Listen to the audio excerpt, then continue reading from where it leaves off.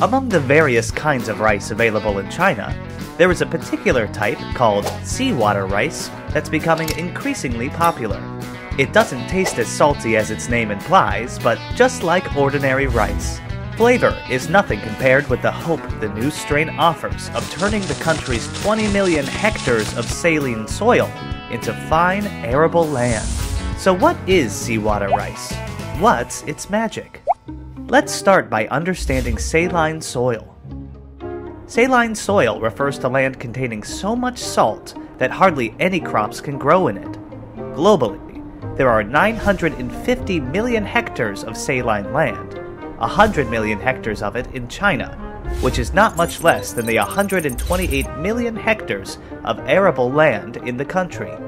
Of the 100 million hectares, about 6.67 million hectares are located in coastal regions around Bohai Bay and southeastern coast, where land used to be sea bottom. About 10 million hectares are in the northeastern provinces, where the winter permafrost is more than a meter deep when it is in spring, the water on the surface evaporates, but the salt it contained remains in the soil, and so the salt accumulates. About 66.67 million hectares are located in northwestern regions, where there is so little rainfall that the salt on the Earth's surface can hardly be washed away. The saline areas in inland are the biggest problem, because no grass, crops, or trees can grow there they are of almost no use.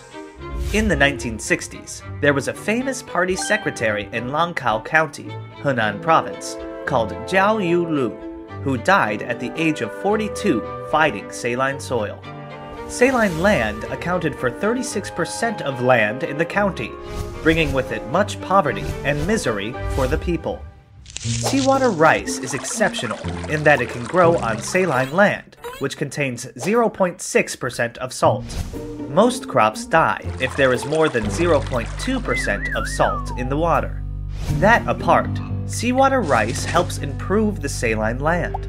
Its roots can pull in nitrogen, phosphorus, and potassium that most plants need, thus making the saline soil more fertile. These roots also make the saline soil porous, while the microbes that grow in them can improve the bacteria groups there. It was in the 1980s that China started its seawater rice research, about half a century later than some other countries.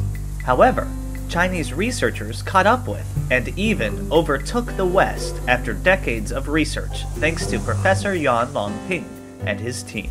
Yuan set up a team to research seawater rice in 2012 by 2016, they founded the Qingdao Seawater Rice Research and Development Center. Yuan set three goals for them.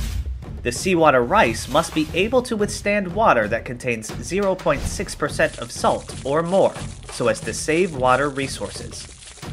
The yield must reach 300 kilograms per mu, so as to be sustainable for the economy. The total size of the plantation area must exceed 100 million mu, so that the scale is large enough. Soon enough, the first two goals were met. In 2017, the Qingdao Center developed YC0045, seeds that yielded 620 kilograms of rice per mu in water containing 0.6% salt.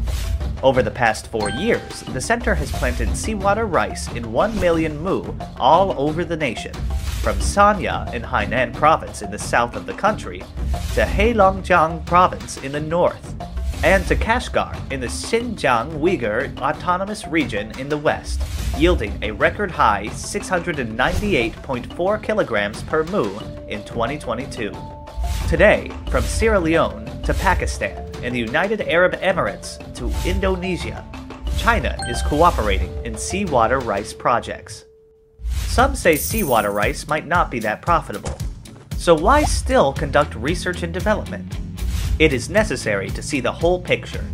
Seawater rice is important, not only for producing hundreds of kilograms of food, but also for turning land previously unfit for cultivation into arable land. In this way, the amount of arable land can be increased without diminishing the nation's forest or grasslands. Yuan Longping once said, Of the 1.5 billion mu of saline land in China, seawater rice can be grown in 200 million mu. If every mu can produce 300 kilograms of rice, 100 million mu will mean 3 billion more kilograms of rice, enough to support another 80 million people. It was also highlighted in the report delivered at the 20th National Congress of the Communist Party of China that we will ensure that China's food supply remains firm in its own hands. There will soon be a day when rice grows even in the drought hit northwestern regions of the country, and Heilongjiang farmers could see harvest from the once wasted frozen fields.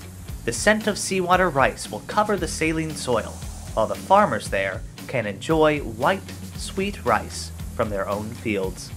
With hundreds of millions of mu saline soil turned into arable lands in the future, the people will remember the efforts today that made the miracle possible.